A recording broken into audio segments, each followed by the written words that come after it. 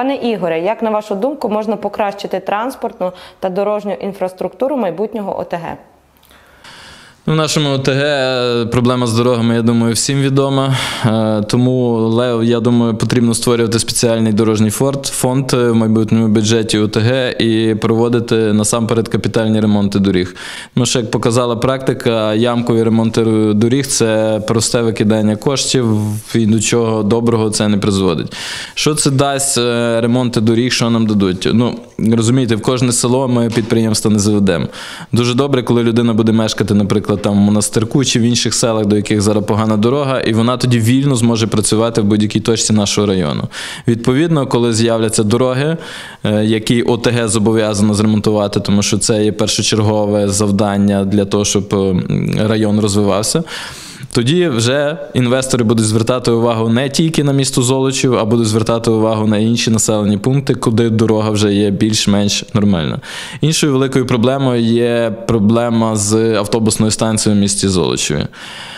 Ну, насамперед потрібно сказати, що е, стоянка, яка знаходиться біля торгового центру Надія, за Колись, як е, компанія IPL купувала земельну ділянку під будівництво торгового центру Надія, в них в- їм виділялося дві ділянки: ділянка саме на якій стоїть торговий центр, і зліва ділянка, на якій влаштована, влаштована саме зупинка. За інвестиційною угодою IPL повинні були влаштувати зупинку, яка зліва від торгового центру, і передати її на баланс міста. Ну тоді IPL Її влаштували. Ну, як влаштували, так ви бачили, плитки на ній не було. Пізніше IPL продала надію підприємцю кошику. Ну і почалися такі незрозумілі, незрозумілі події, в ході яких ем, підприємець, е, перепрошую, підприємець Наливайко ще був вигнаний з не то, що вигнаний, він був витіснений з надії ще до того, як було продане приміщення. Це була така застосована колишніми регіоналами, застосована така схема. Завели одного з підприємців, який влаштував там автобусну станцію, і з підприємця Наливайка, який мав леву частину перевезень по району, хотіли збирати там додаткові збори. Ну, відповідно, він звідти пішов. Друга схема така була застосована, коли вже надія була перепродана і прийшов новий власник. Така сама схема була застосована, і знову там стоянка не відбу... не, не... автобусна станція не відбулася. Ну, на мою думку, як вирішити питання, ми вже спілкувалися з перевізниками. Питання може бути, може бути вирішене наступним чином. Стоянку обов'язково треба передати на баланс міста. Стоянка зараз знаходиться в оренді підприємця, який купив надію. Так, ту стоянку треба забирати на баланс міста і робити комунальну автостанцію. Ну і відповідно вже на конкурсних умовах туди заводити перевізників. Можна здавати ту стоянку як в оренду одному перевізнику, якщо він буде мати леву частину перевезень, так і можна на конкурсних засадах віддавати кільком чи як. Ну, подивимося, який стан буде.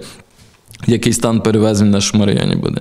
Що стосується перевезень, ми то неодноразово говоримо. В нашій програмі записали, ОТГ буде змушене е, фінансувати невигідні маршрути. Ну, ідеально би було запровадити електронний, електронний квиток і мати якесь уявлення про те, які маршрути є невигідні, які є вигідні. Але ну, зараз на даному етапі є ряд невигідних маршрутів, підприємці туди не їздять. Тому ОТГ для початку повинні профінансувати ці маршрути. Крім того, зараз же, коли буде ОТГ, буде легше влаштовувати маршрути. Тобто, колись можна було влаштовувати, влаштовувати тільки районні маршрути, тобто з району в місто були такі правила, або по місту. Зараз вже, якщо буде знаходитися в одному, можна влаштовувати маршрути, наприклад, ну не знаю, Городилів, залізничний вокзал або щось тому подібне. Ну, це потрібно відповідну комісію, залучати туди перевізників і вирішувати такі питання.